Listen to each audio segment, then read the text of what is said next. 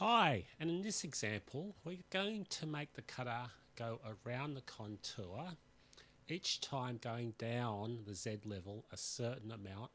It will keep going around until it reaches the final Z level.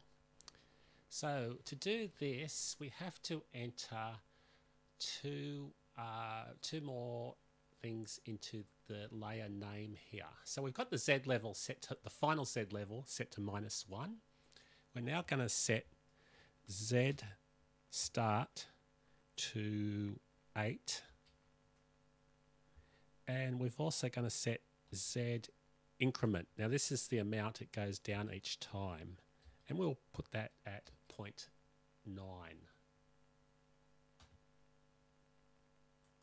Set increment, oh, not 0.9. There we go. So we have a normal cut with a 6 mil offset, a final Z level of minus 1, a Z start level of 8, and a Z increment come, uh, which will go down each time of 0.9.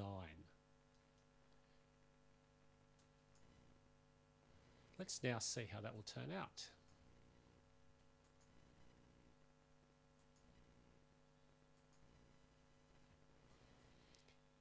If we hit this, you'll see it will keep going around and round until it hits the bottom.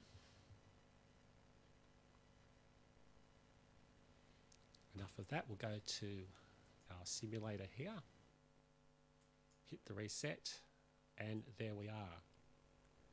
As you can see, the tabs will uh, do not go down, they still stay there. We can hit the start on this one.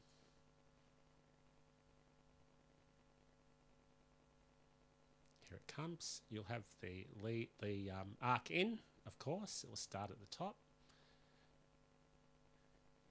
Each time it will go back into the arc and come back down again.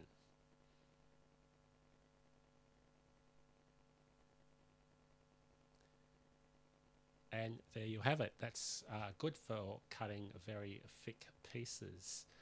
Uh, on your CNC, when your cutter will not do it all at once